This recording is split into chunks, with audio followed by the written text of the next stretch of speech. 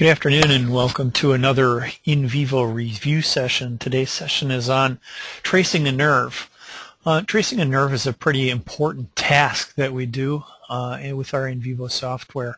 Um, illustrating the layout of that canal is important in uh, making sure uh, where to avoid when we're drilling holes in our patient. Um, so we're going to look at our arch section tab again and uh, take a look at some of the processes of uh, illustrating a nerve um, and then also kind of look at some hints and tips on how to do this. This can be a very easy job if we've got a very well corticated canal uh, and it can be really tough uh, if the patient doesn't have a well corticated canal. Um, so let's take a look. Uh, first thing that I want to do here is uh, avoid some of this extra information that's kind of distracting me right now.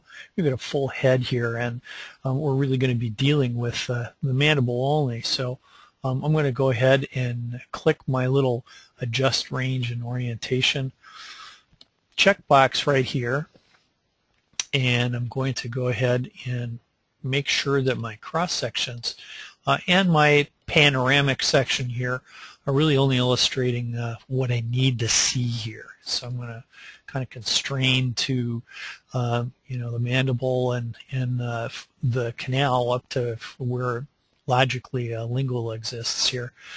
Uh, and that's uh, what my cross-sectional views are illustrating here.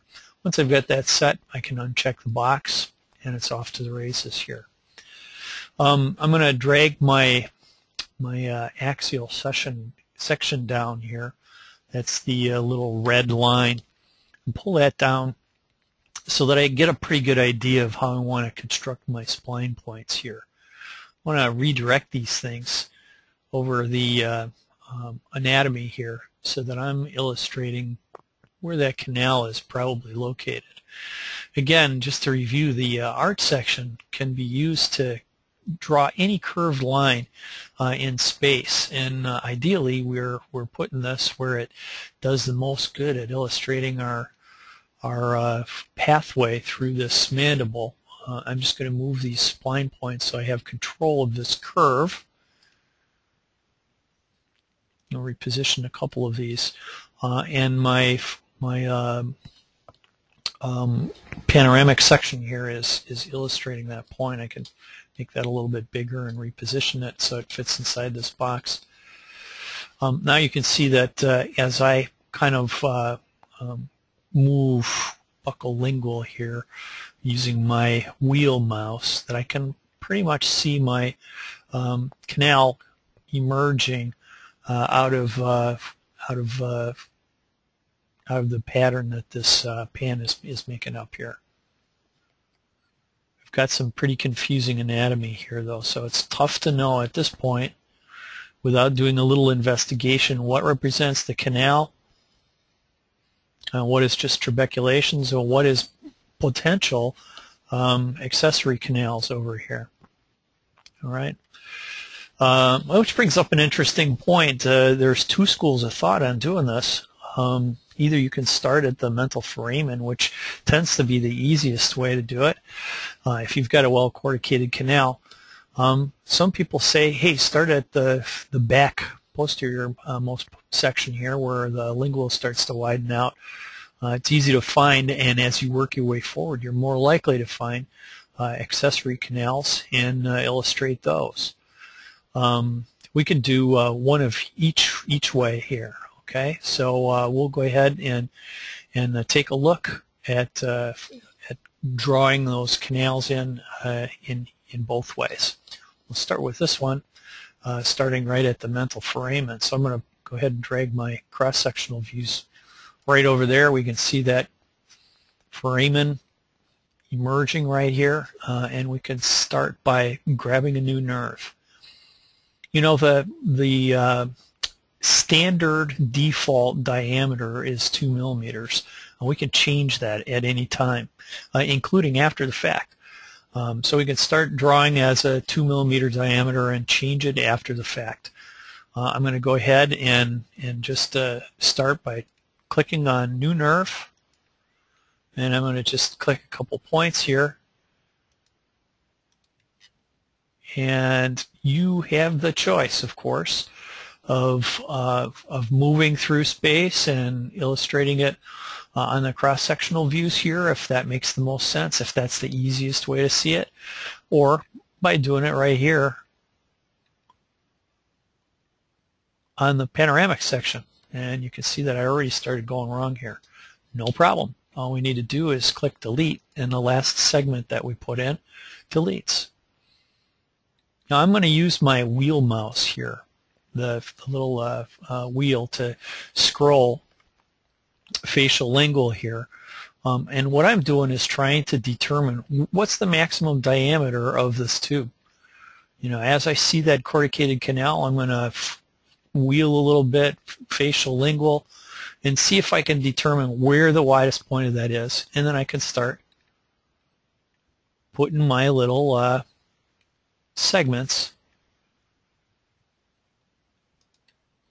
segments of the uh, canal in place here uh, of my um, uh, marker, if you will. Again, anytime we get too far, we put one wrong, all you need to do is come up here to node, delete, and I'll take off the last little piece that you put in place. i continue to roll this back now. You can double check our work over here, see if it makes sense.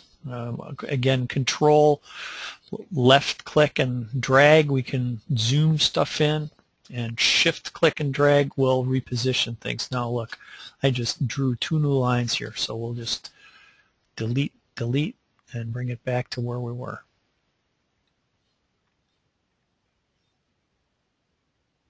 See how the edge of the canal is just a little bit wider. If we really are um, beyond the ability to make this uh, wider using the diameter control over here. We can literally start a new canal overlapped on top of it, a new diagram uh, showing us uh, um, how it, it uh, widens out here. And we'll do that with this canal in just a moment. Continue to come back here. Click out points as we move further back to lingual. And when we're done, we just say done. All right, now we can scroll back and see how this looks. Seems to be tracking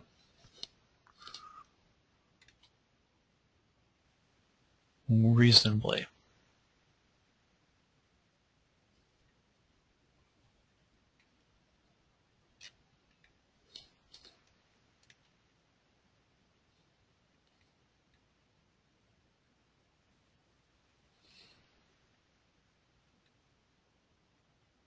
There we go. Now we can see that this is uh, has been illustrated in the other views that we see here. So in all the uh, three-dimensional views, that uh, canal will be filled in.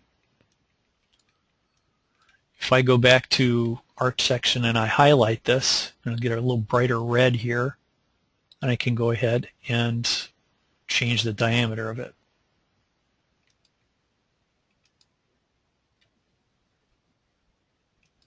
And again changes the diameter in further views that we're looking at.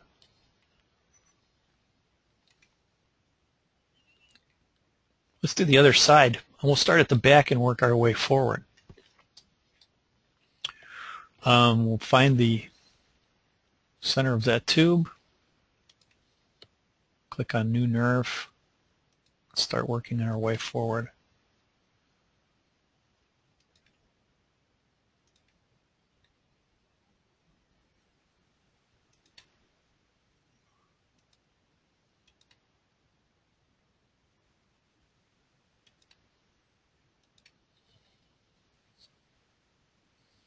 Kind of tough to see here. Might be useful to look at it from this aspect.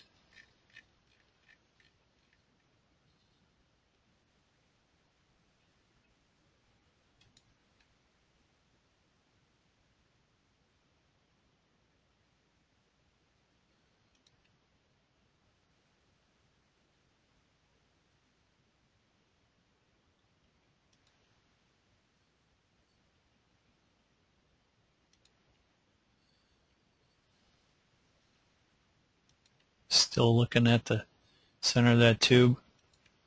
Looks a little bit better corticated now.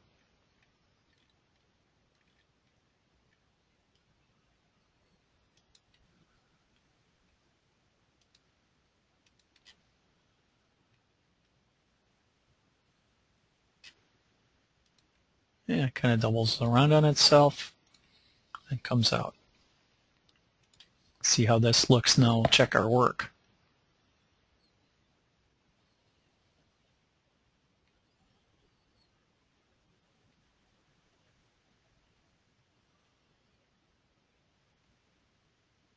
Again, we could highlight this, change the diameter of it, make it even thicker.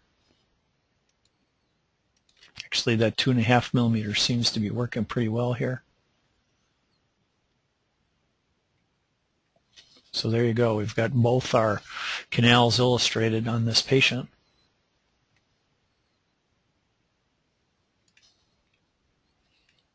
Been using a scan that was produced by our uh, Scanora um, from Soredex Um, might be useful for us to see uh, an OP300 scan, uh, a smaller scan. So let's go ahead and do that. First, I want to just talk a little bit more about this these nerves and uh, how we illustrate those. Uh, we can turn off or on so that we can see where we're sitting uh, if that's distracting you while you're tracing. Uh, this is a big help. Um, we can also go ahead and click on the x-ray. We can't actually uh, draw the nerve in the x-ray because um, it really takes away all the depth, uh, but it sure can help us um, illustrate whether we've got it in the right spot. All right, so we uh, when we see it as an X-ray, where it's got a, a, a, more depth to it than one voxel at a time, um, this uh, is a, a, big help to be able to uh, turn our our nerve on and off to see if uh, if it makes sense, if it looks like it's laying in that canal properly, and it seems to. We've got some big um, trabecular spaces back here that are kind of confusing, but don't appear to be accessory canals. You can take issue with me if you will, but uh, um, it seems to not be accessory canals at this point. You know, um, these brightness and contrast controls have a huge bearing on what you see. And again, I uh, urge you not to ever be satisfied. Don't have a one-size-fits-all kind of attitude uh, about where those brightness and contrast controls go. Um, you always want to be fussing with these um, and make you um, see what you want to see uh, at that point in time. This uh, can do an awful lot uh, to help boost your visibility of things uh, as you're working through tracing these nerves. And, and this is nowhere more true than when we've got a poorly corticated canal. Uh, constantly be playing with this brightness and contrast uh, and uh, you'll be able to see things a little bit better. We also have the color presets and again uh, once we press on this it changes the colors that we see representing the tissue and you can just toggle through these different color presets and sometimes these can be very helpful to help you um, pick out a poorly corticated canal uh, or to see where the upper and lower limits are of a existing reasonably uh, corticated canal. Um, when we uh, move on uh, next week uh, into, or on the 3rd of August, into uh, our implant tabs here, our, our illustrated canal travels with. And this is going to be an important thing when we're setting an implant uh, to make sure that we set our alarms properly and that we've got a reasonable diameter and that we've got that canal filled in pretty well uh, so that you can set your implants without giving it an awful lot of concern that you're getting too close to that, uh, that canal. All right. Um, the cross-section uh, tab up here is helping us um, see what's going on. The three cross sections here run perfectly perpendicular to the to the panoramic plane. Uh, this curved line that we've that we've uh, constructed in space here, which represents this plane. Um, we can set uh, different thicknesses. we can set a different layout too. So if we're uh, more comfortable with a different layout, uh, we can set up for uh, a lot more cross sections. Typically, this multiple more cross section kind of thing is, is only used when we're printing things out. Uh, but if uh, you're used to reading, uh, using multiple cross sections, a lot more uh, lightbox kind of uh, view here, then go for it. Uh, whatever helps you visualize what you need to see, doctor, is, is the best thing for all of us here. All right, so we can set the thickness more like film images, and we can change the width of the cross-sectional views. Um, lots of different uh, aspects that be, can be controlled uh, of this cross-sectional uh, information that we've got. I'll go back to the to the default and I'm going to go ahead and open up an OP300 case uh, so that we can see a little bit smaller um, uh, amount of information here. So let's go ahead and open up a OP300 This case already has an implant in place here. Um, we're going to go ahead and again uh, draw our spline points so that they are uh, helping us find that canal easily. Drag these a little bit in space.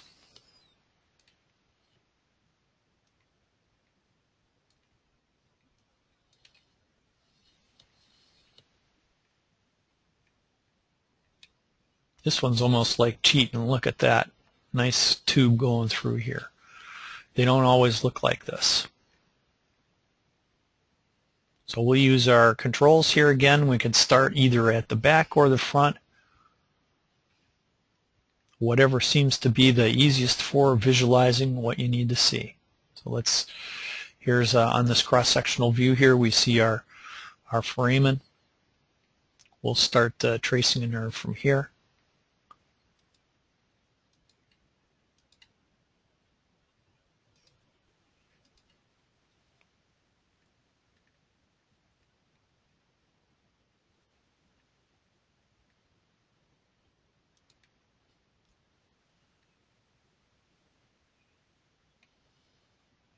Big, thick. We could change the diameter that easily. Just keep tracking with us.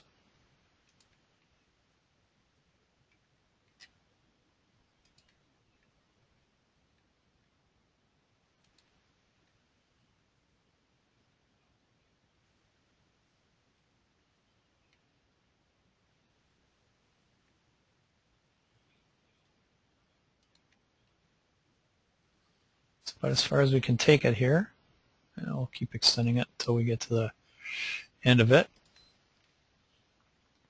When we're done, we say done. We'll probably make this a little bit thicker. This could easily be a candidate for our two and a half millimeters here. See how that works. Not too bad.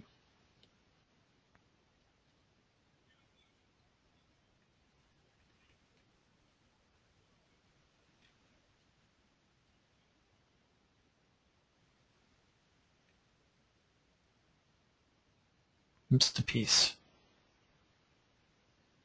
That canal quite obviously doubles back on itself and I missed that part. Look at that. Boom, all the way back here. Let's start this from scratch.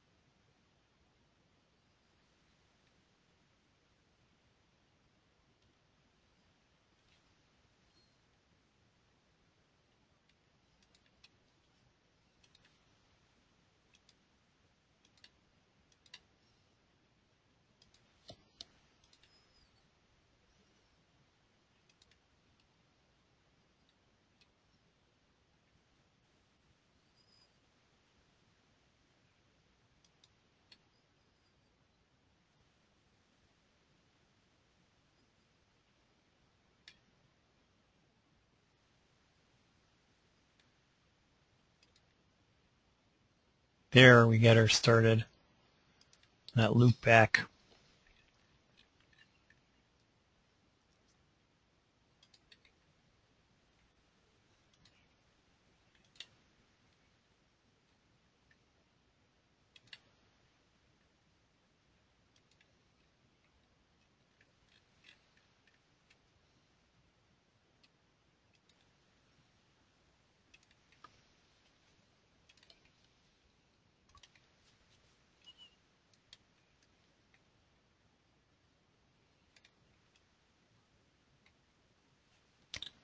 That more accurately, I believe, follows the canal.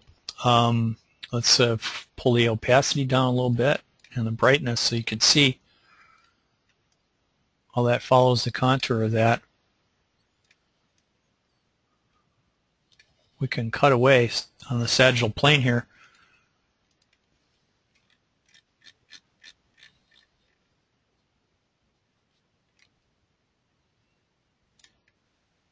Yeah, it doesn't look too unreasonable there. Looks like it follows. If we look on our arch section, again, if we pull up the panoramic x-ray view, see a little bit more closely how that curves in front of itself and doubles back.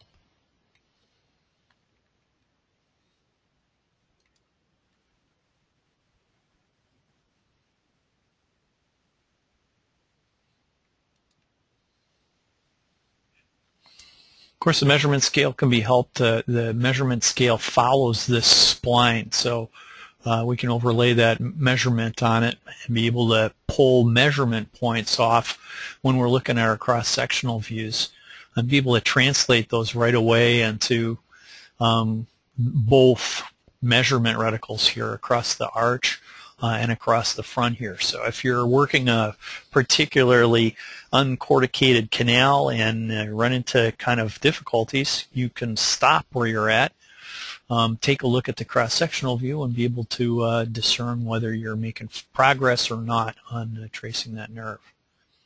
Again, uh, tracing these nerves is an important step uh, towards having a successful implant uh, knowing where the um, pitfalls are that could uh, make your case less successful uh, and your uh, patient's life uh, less uh, quality um, are important when we're getting ready to set an implant.